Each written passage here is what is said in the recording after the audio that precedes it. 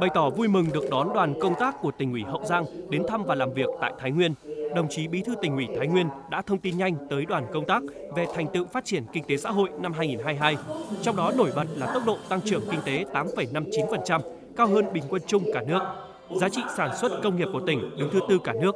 Thu ngân sách đạt trên 19.100 tỷ đồng, vượt 30% so với kế hoạch Thủ tướng Chính phủ giao.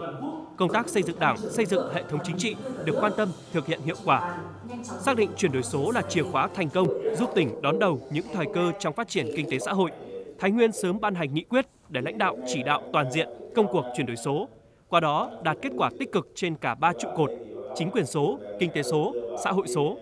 Đặc biệt, Thái Nguyên là tỉnh tiên phong và dẫn đầu cả nước về thực hiện đề án phát triển ứng dụng dữ liệu về dân cư, định danh và xác thực điện tử.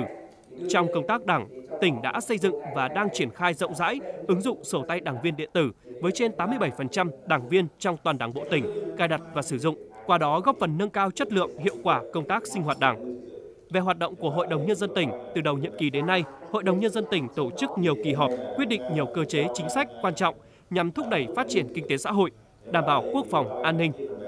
Thay mặt đoàn công tác, đồng chí Bí thư tỉnh ủy Hậu Giang cảm ơn sự đón tiếp nhiệt tình của các đồng chí lãnh đạo tỉnh Thái Nguyên dành cho đoàn, đồng thời bày tỏ ấn tượng trước những thành tựu mà Thái Nguyên đạt được thời gian qua và khẳng định hội nghị hôm nay là cơ hội để trao đổi, gắn kết chặt chẽ hơn nữa mối quan hệ giữa hai địa phương. Nhấn mạnh chuyển đổi số là xu thế tất yếu, tác động mạnh mẽ đến sự phát triển của các địa phương. Đồng chí Bí thư tỉnh ủy Hậu Giang khẳng định những chia sẻ trong công tác xây dựng Đảng, chuyển đổi số của Thái Nguyên sẽ là kinh nghiệm để Hậu Giang nghiên cứu, học hỏi và ứng dụng linh hoạt vào thực tiễn phát triển tại địa phương. Cũng tại hội nghị, các cơ quan chức năng của tỉnh đã giới thiệu về ứng dụng sổ tay đảng viên điện tử Si Thái Nguyên, cách thức triển khai cài đặt, đưa vào sử dụng, khai thác sử dụng ứng dụng phổ biến trong toàn tỉnh.